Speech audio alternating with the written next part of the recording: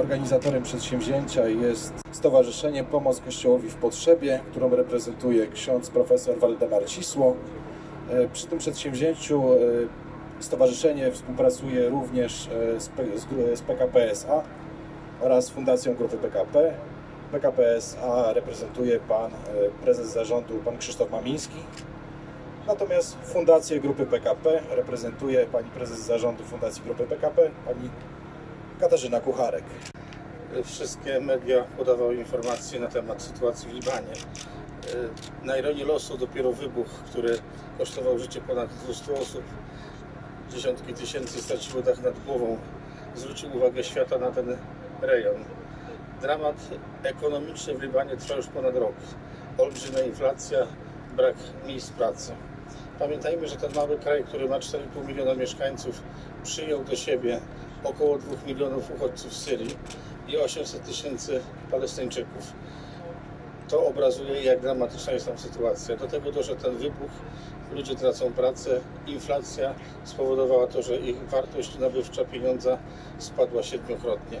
Ludzie tracą mieszkania, nie mają pieniędzy na zakup leków, na zakup żywności. Jako Polska chcemy okazać się solidarni, tak jak byliśmy solidarni z Irakiem, jak byliśmy i jesteśmy solidarni z Syrią, gdzie tym najbiedniejszym pomagamy. Te ulice Bejrutu, które spłynęły krwią, otworzyły nasze serca i nasze kieszenie, żeby pomóc tym biednym ludziom. Dzięki takim firmom jak e, PKP i Fundacja PKP mogliśmy zakupić 10 ton mleka w proszku, to jest bardzo potrzebne. Firma Selby oferowała kilkadziesiąt ton środków dezynfekujących, środków higieny. Wyobraźcie sobie Państwo, dużo mówimy o koronawirusie.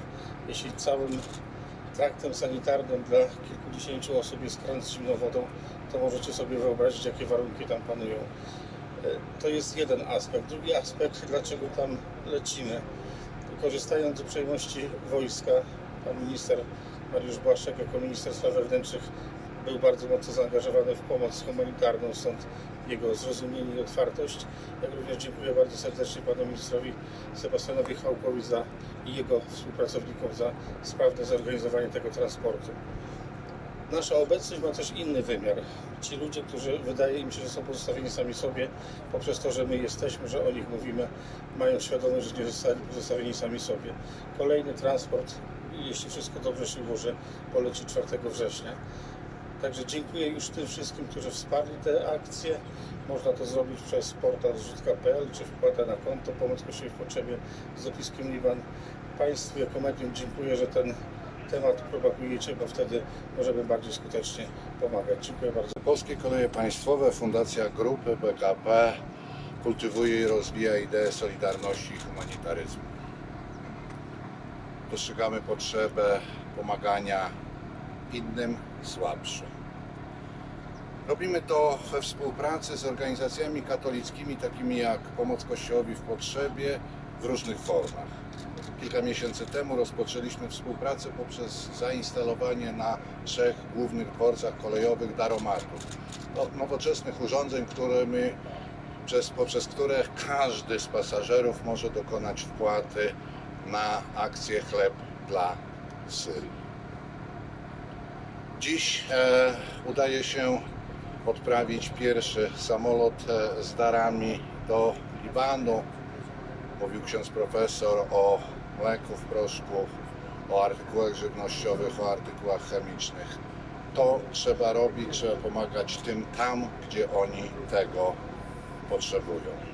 Ostatnie miesiące wszyscy w przepięknej Polsce i w Europie martwiliśmy się koronawirusem i myśleliśmy, że to jest to, co najbardziej dotyka, ale są narody, które potrzebują większej pomocy i ją należy czynić.